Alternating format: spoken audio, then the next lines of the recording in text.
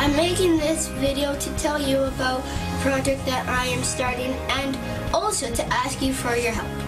Brick by Brick is a, is a program that helps build schoolrooms and schools for kids that don't have one.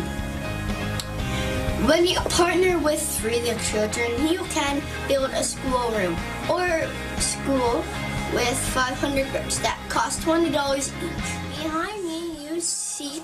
Well, ladies and gentlemen, that's Avery Skog, and uh, he joins me this morning with his dad, Darren. Uh, you're nine there. You're 10 now. Yeah. That's like years ago, right? You It's a feeling older? Mm, yeah, a little. Yeah, a little. Yeah. So you, you decided to get together and, and to build a school in, in Kenya by raising money. What, what, what, one day you just woke up and decided to do that? How did that happen?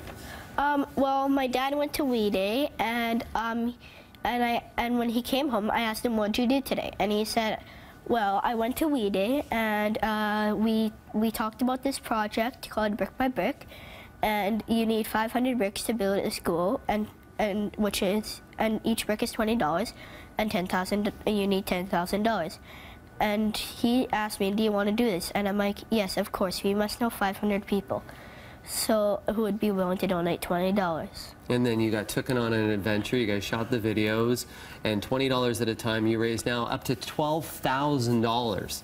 Pretty amazing. And, and Darren, what do you feel about this this whole experience? Um, it's it's been really enlightening. I think uh, I've learned a lot about uh, Avery and just uh, all the people have been so supportive and just how so many people can rally around uh, a nine-year-old kid. It's been really impressive. He's had donations from people all the way from Prince Edward Island all the way to Vancouver. So it's been it's been really cool to watch and it's been neat to see him uh, grow as uh, this project's gone on to. Hmm, What do you think nine-year-olds should be doing? Ten-year-olds should be doing right now?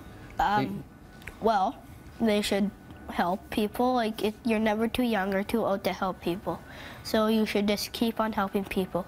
So how can I help you? Like, how can we help you right now? How can we make this continue to go from here on? Um, well, you could donate or you could send me an email. Let's go get MTS.net. And you're going around to schools. You're talking to schools right now, and you want to continue to build more schools. Yes, I do. Right? Yeah, because right now I have 12,000 and I and I want to get to 15.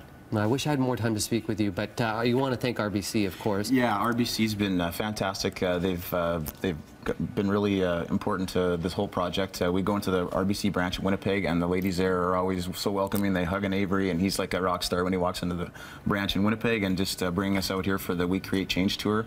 Uh, finale yesterday in Toronto was fantastic. It was it's been a great experience, and uh, so we'd like to thank RBC and and Free the Children as well. Of course. So you are a rock star. We're going to continue to raise money. Of course, we're going to try to build more schools. What I want you to do is go to bttoronto.ca for more information. Of course, we can connect with Avery. And come on, let's raise some more bricks and build more schools. How does that sound? Awesome. To my rock star Avery, have a great Thank you. morning. Thanks, Darren, for Thank you. coming this morning. I'm going to take a break right now from Breakfast Television.